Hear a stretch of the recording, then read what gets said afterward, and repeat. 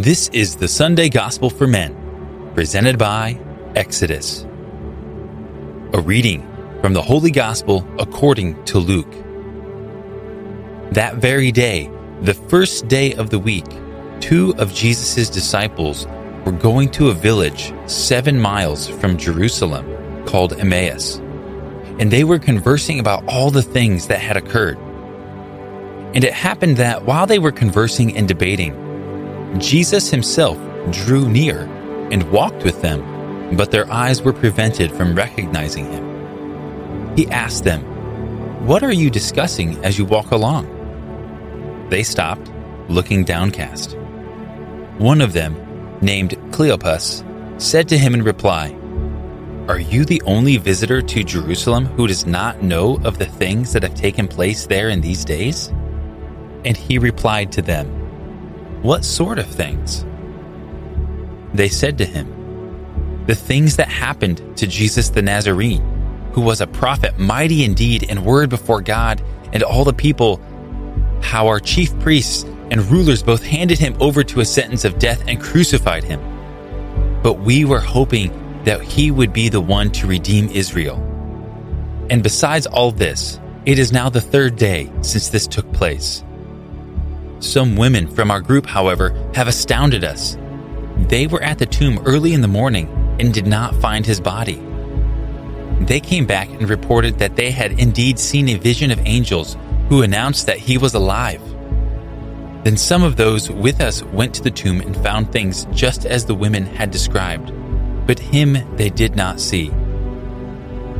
And he said to them, Oh, how foolish you are! How slow of heart to believe all that the prophets spoke. Was it not necessary that the Christ should suffer these things and enter into his glory? Then, beginning with Moses and all the prophets, he interpreted to them what referred to him in all the scriptures. As they approached the village to which they were going, he gave the impression that he was going on farther.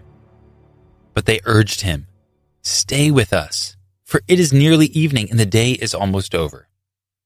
So he went in to stay with them. And it happened that, while he was with them at table, he took bread, said the blessing, broke it, and gave it to them.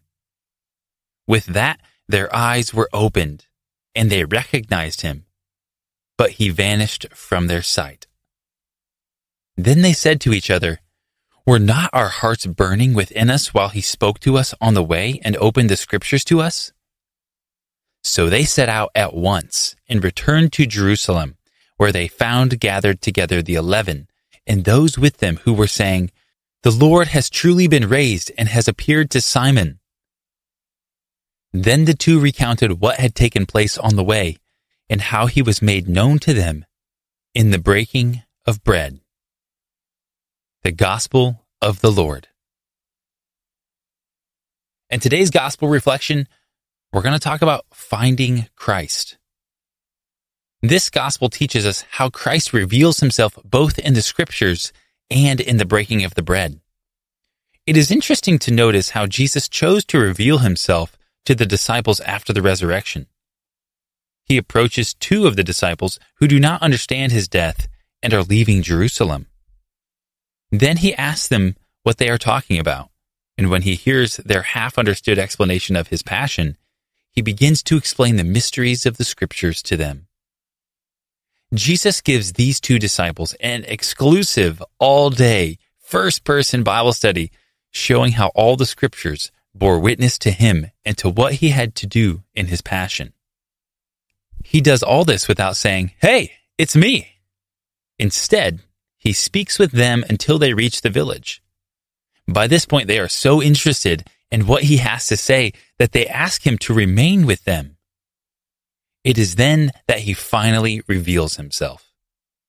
He revealed himself while they were at table when he took bread, said the blessing, broke it, and gave it to them. As he did this, they recognized who he was. Isn't it interesting that after spending all day with Jesus, talking about Jesus, these disciples didn't recognize him until he broke and blessed the bread. After the resurrection, Jesus reveals himself to us in a new way. Now, like these two disciples, we come to know him through the explanation of the scriptures. But most clearly, we know him in the Eucharist. In the breaking of the bread, Jesus is truly present. His body, blood, soul, and divinity are present in every particle of the consecrated host. In your prayer today, ask the Lord to be present to you, to reveal himself to you. Listen to the priest as he expounds on the sacred scriptures in his homily, and look for Jesus when the priest takes the bread, says the blessing, breaks the bread, and gives it to the faithful. This has been the Sunday Gospel for Men, presented by Exodus.